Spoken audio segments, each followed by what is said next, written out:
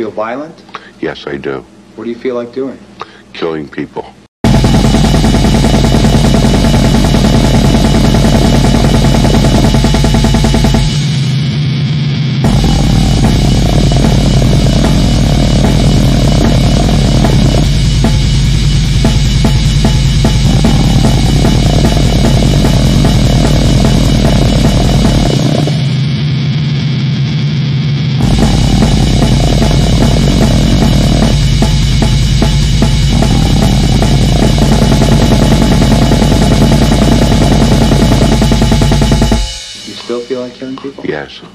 Describe the feeling that you get when you feel like killing people. Well, last March 11th, I was hallucinating, and I took a razor blade and I cut a man's throat.